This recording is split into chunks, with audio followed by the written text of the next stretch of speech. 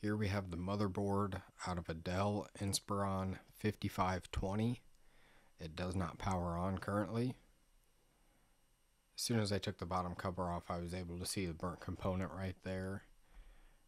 And if we take a peek at that, it's actually the power control for the USB port. And here's a good one. We measured that one. It reads in the mega ohm range. This one here that looks burnt, when we measure that one, it reads 200 ohms. We've got a couple plastic components near the burnt IC there. USB port, more plastic. So we're going to cover all the plastic up and then we're going to put some flux on there and get the hot air gun going.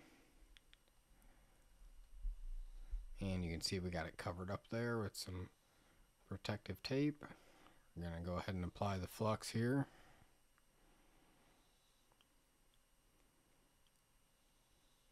And we're going to hit go ahead and start hitting it with the hot air, get everything warmed up.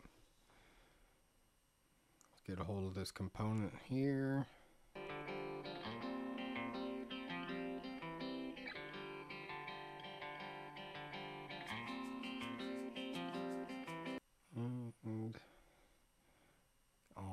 Ready. And boom. Also knocked a couple little caps off there. We'll go ahead and stick those back when we get get done here.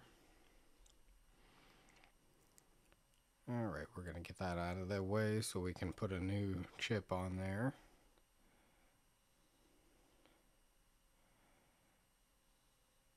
And there we go. Go ahead and stick that little guy back here.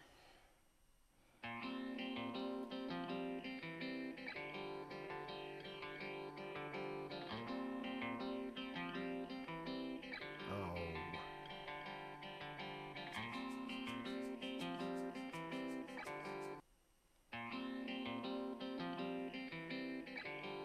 There we go.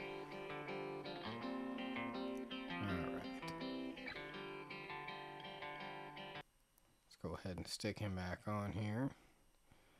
And that's the wrong spot where he goes, but we'll fix that later on. We just got to get him stuck on here for the moment.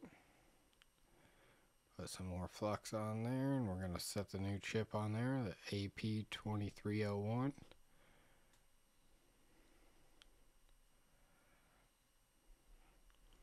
And we're going to go ahead and apply hot air. Back where he goes there before he takes flight.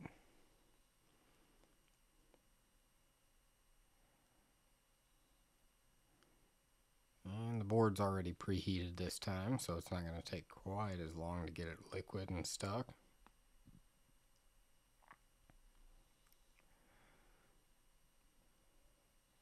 And then we will go ahead and fix those two caps and put them where they go.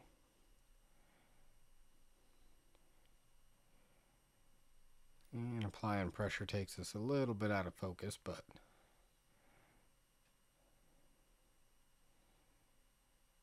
there we go. Now we'll go ahead and put these caps back.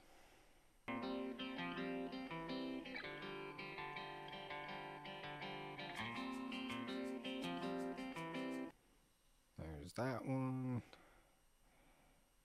There's that one. Oh, of course, got to knock that out of the way. And perfect.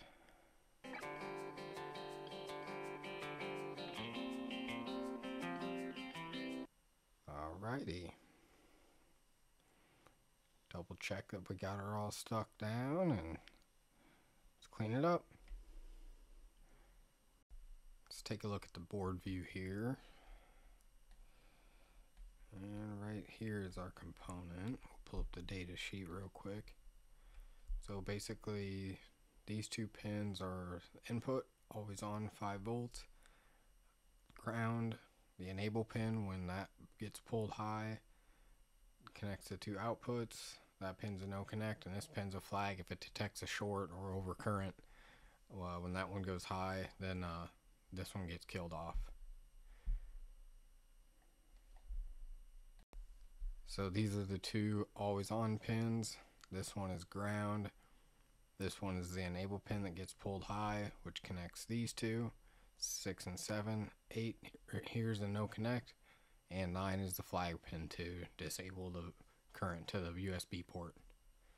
There's also one more of these components right here. The exact same thing for the other USB port right here.